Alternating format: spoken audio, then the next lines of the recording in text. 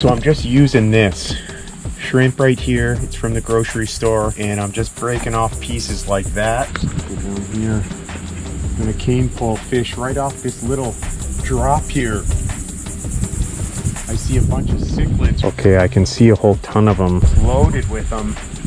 See if I can get one right here. Oh, there we go. Got him. Look at the size of this one. Holy man. Look at the colors on this one. This is a beauty. Look at this one right here.